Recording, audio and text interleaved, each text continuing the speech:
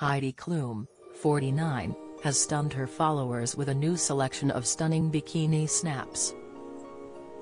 On Thursday, the model donned a tiny leopard print bikini as she filmed herself dancing to Gene Kelly's Good Morning.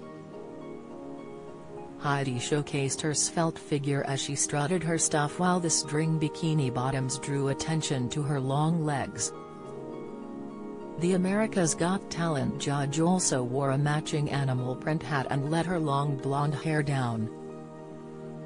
Heidi looked like she was having a ball as she danced next to the backdrop of a blue sky and palm trees.